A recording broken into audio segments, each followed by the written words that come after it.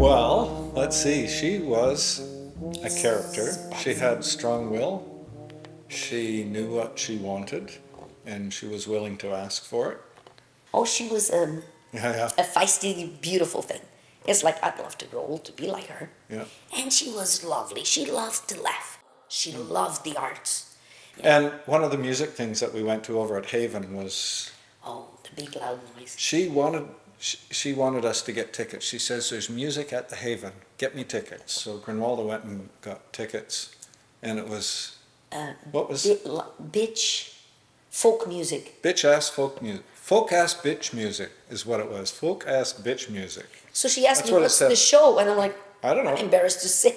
So- it's folk ass bitch music. So we took her over, and it was it was pretty intense, loud, and and we were like It was- first row. it was bitch ass folk music. That's what it was, and it was So- boom in your face. And I thought, intermission, I we went outside and I said, Hey Toshiko, would you like to go home?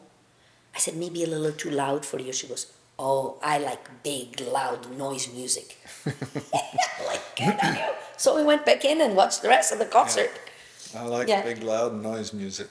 Yeah, and she did stuck like with us.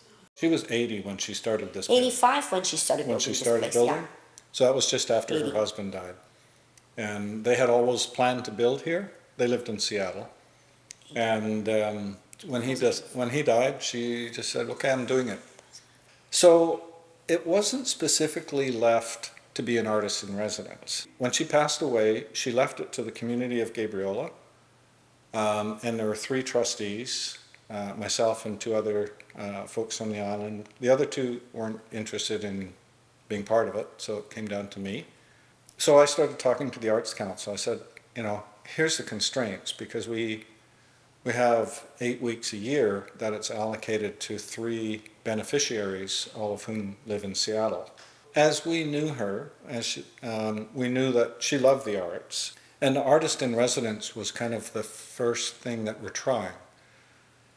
Because Um, they add to the community, right? They come and they bring their art, and you know, our intention is to have the community benefit, and and bringing their gifts, their their talents, their their knowledge. They also put on workshops where they um, basically put together uh, a three-day or a two-day or a one-afternoon program where members of the community might participate or other artists might participate. There is a lot of magic in it, definitely. Just the diversity from number one.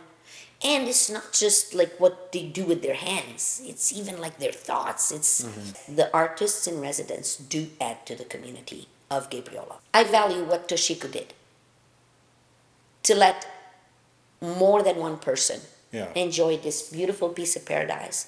And how inspiring it is being in a location like this. Yeah. It is. And so to me, all it comes to me is like that it warms up Toshiko's heart. That to see that it's, yeah, being see it. shared. Hey, Toshiko, here to you.